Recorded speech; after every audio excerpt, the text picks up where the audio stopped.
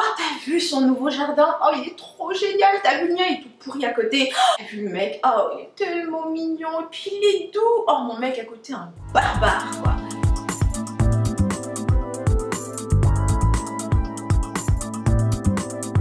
Enfin bref, t'as compris? On adore se comparer, nous les filles, incroyable. Bah, les femmes comme les hommes en fait, on se compare constamment. Et je vais te dire un truc, c'est que selon moi, il n'y a rien de mal à se comparer. Tu sais, se comparer, ça peut être bon tant que tu vois l'autre comme un modèle. Là où en fait c'est plus désagréable avec la comparaison, c'est quand en fait tu te sens moins bien que l'autre, que tu envies l'autre, tu vois, ou encore que tu es jalouse de ce que l'autre a. Et cette sensation est tellement désagréable parce que ça ne te permet pas de grandir. Ouais, c'est ça. Ça ne te permet pas de grandir ou d'aller vers ce que toi, tu as d'extraordinaire. Donc moi, aujourd'hui, j'aimerais te donner trois étapes pour changer ton état d'esprit. Donc tu vas passer en fait de l'envie à l'inspiration. D'accord? Donc tu passes de je veux parce que j'ai pas à oh, je suis capable de faire ce que cette personne fait.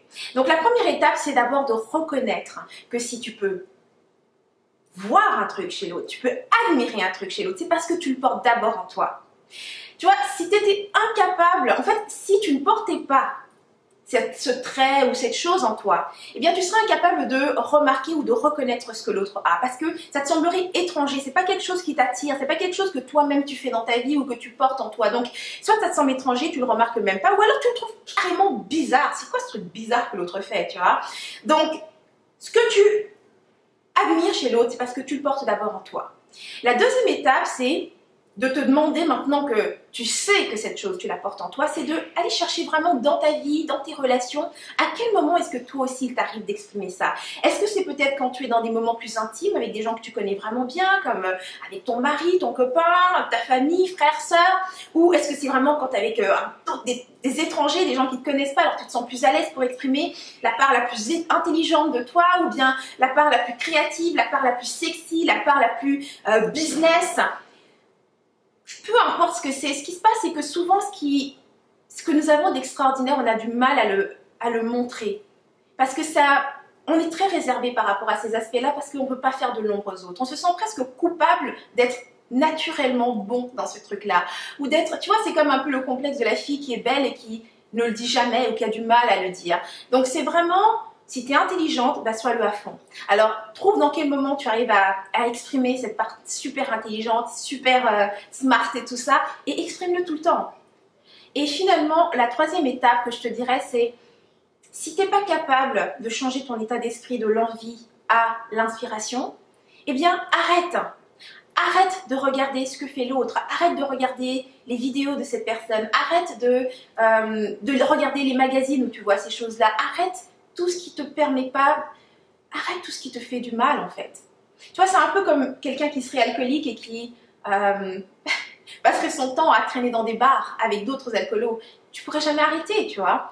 Donc, moi, je sais que dans le passé, j'avais un problème euh, avec mon image et j'ai eu des problèmes d'alimentation. Et une des choses que j'ai remarqué qui a, changé énormément dans ma vie, c'est dès l'instant où j'ai arrêté de regarder ces, ces, ces, séries hollywoodiennes où tu vois ces filles avec leurs t-shirt et puis euh, qui leur arrêtent, qui descendent sous le nombril avec euh, leurs jambes ultra longues. Parce que le truc, c'est que je me comparais constamment à ces femmes en me disant, ah, c'est comme ça que je suis censée être, tu vois. Voulant dire que, telle que je suis, je suis pas assez bien. Donc, c'est vraiment le troisième truc, c'est d'arrêter de faire ces choses, de regarder ce que font les autres et qui ne font pas du bien. Et ça, ça vaut aussi bien dans ta vie personnelle que pour ton business, pour tes projets. Compare pas l'étape où tu es à ce que fait quelqu'un d'autre. Tu vois, il y a une citation que j'avais vue qui est super intéressante qui dit euh, Ne compare pas ton premier chapitre au vingtième chapitre d'une autre personne. Chacun son histoire. Crée la tienne et tu t'en sors super bien. Donc voilà, alors maintenant j'aimerais que toi tu me dises dans les, dans les commentaires dans quel aspect de ta vie est-ce que tu as tendance à te comparer aux autres? Et parmi les trois étapes que je t'ai données, laquelle des trois résonne le plus chez toi? Et que si tu appliquais ça dès maintenant, ferait vraiment une grande différence dans ta vie? Laisse-moi ça dans les commentaires, j'ai super hâte de le découvrir. Donc voilà, ça termine cette inspiration. Si tu as aimé cette capsule, tu cliques sur j'aime, tu partages autour de toi, tu fais tourner l'amour, l'inspiration. Et si tu veux d'autres inspirations comme celle-ci, rejoins-moi sur rebellecreative.com, inscris-toi sur Rebelle TV et tu recevras mes prochaines inspirations directement par mail. Donc voilà, c'était Henriette Ndaka. Moi, je te dis à la semaine prochaine. Et d'ici là, agis comme une rebelle créative.